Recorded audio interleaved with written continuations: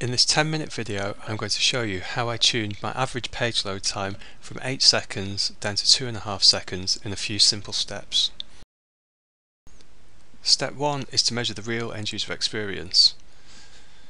End user experience is measured from the browser side, not from the server side and not by synthetic transaction. For this we're going to use WebTuna. WebTuna collects the actual page load time from the end user's browser as they hit your website. WebTuna lets us view the number of page views, unique visitors and the response time of our website. What we can see if we focus in on the response time is at the start before we make any changes our page load times are taking around about 8 seconds on average. At the end after we make these three changes you can see our page load times now come down to around 2.5 seconds.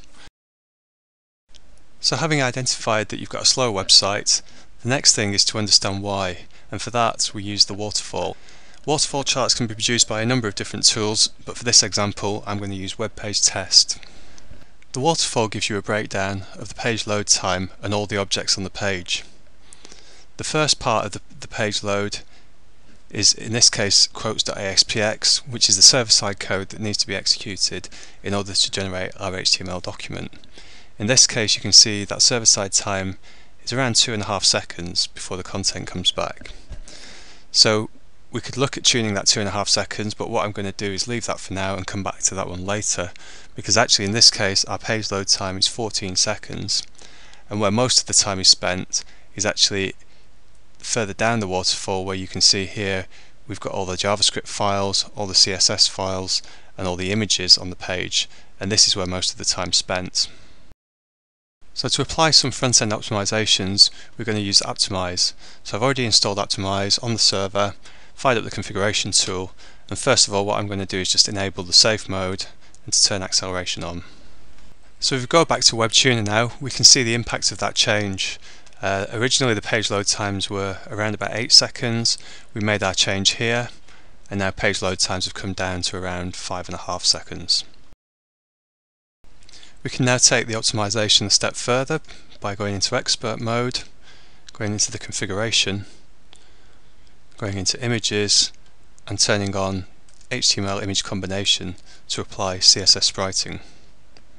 Next if we go back to WebTuna and validate the impact of the second change, we can see that the page load time came from around 5.5 seconds and dropped down to somewhere around about 4 seconds. So step 3 was to apply the front-end optimization and what we saw there by using Aptimize to apply front-end optimization techniques was the page load time came down from an average of 8 seconds down to 5.5 seconds and then eventually down to 4 seconds so half of the original page load time. So having applied front-end optimizations you can see now that we're scoring A grades here for most of these things and that the waterfall chart is much shorter. We've combined a lot of JavaScript, CSS files and images together which means we're now only doing 14 requests instead of 48 previously and we've also done a lot of compression to make those things smaller. So now actually looking at this most of the page load time is actually on the server side. It's this first bar here executing the ASPX uh, and waiting for the response back here. So you can see that's why we're still scoring an F grade for our time to first byte. So at this point we need to address the server time and what's happening on the server. So to look at the server side we're going to use AppDynamics and here we are in the business transaction view. We can see all the different ASPX files uh, which have been executed and here's our quotes uh, ASPX which has the problem. We can see it's missing its service level we can see its average response time, number of calls, errors, slow requests, very slow or stalled requests. So to drill down from here we can click into the transaction and we can see where most of the time is spent. Straight away we can see 99% of the execution time is in this ADO.NET call to the stock trader database. If we go a little bit deeper we can focus on some of the slow calls sorted by execution time and we can click on one of these calls and we can see an individual request. If we drill down we can see the call stack, we can see where the time spent in the ADO.NET call and we can see the exact SQL statement. So having identified that a SQL call is responsible for our slow page load time, we can now look at DBTuna for SQL Server to find out why that statement is running slowly. First of all, looking at the overall activity on SQL, you can see that we're spending about two and a half and three and a half minutes of activity in each one minute time slice. Therefore the database is quite heavily loaded.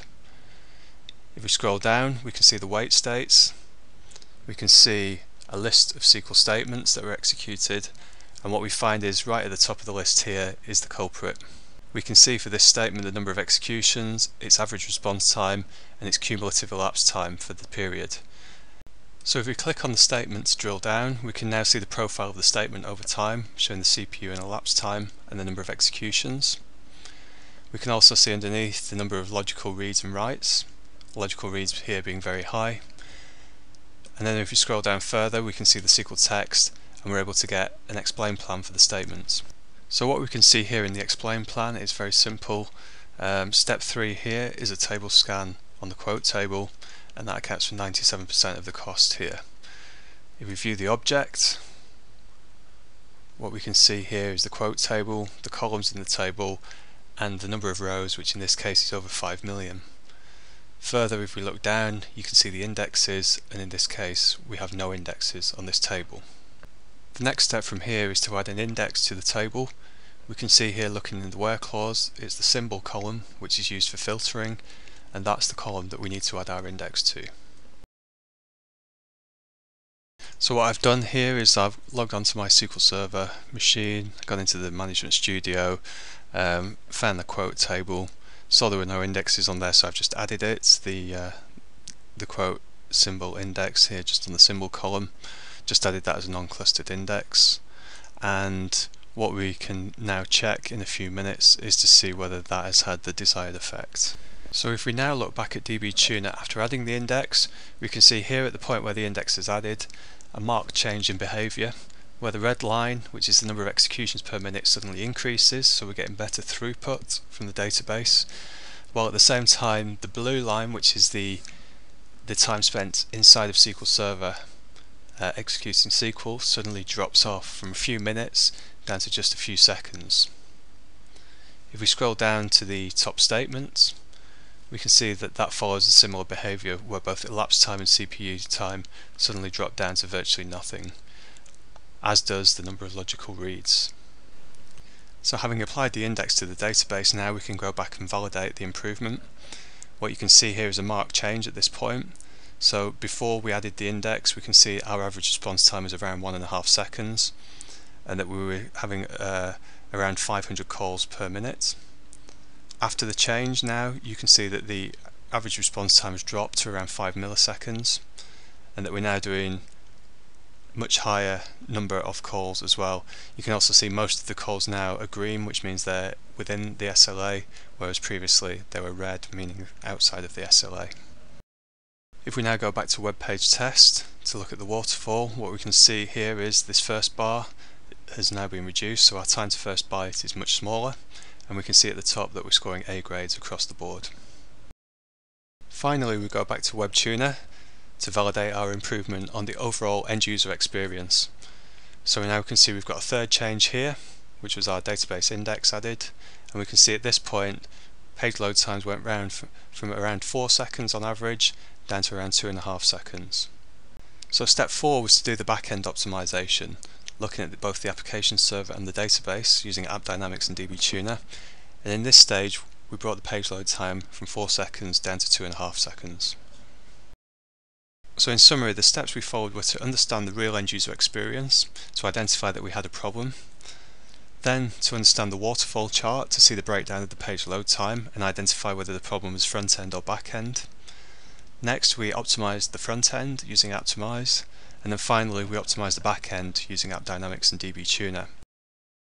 If you'd like to find more about any of the four solutions mentioned in this video, head over to www.applicationperformance.com. Thanks for listening.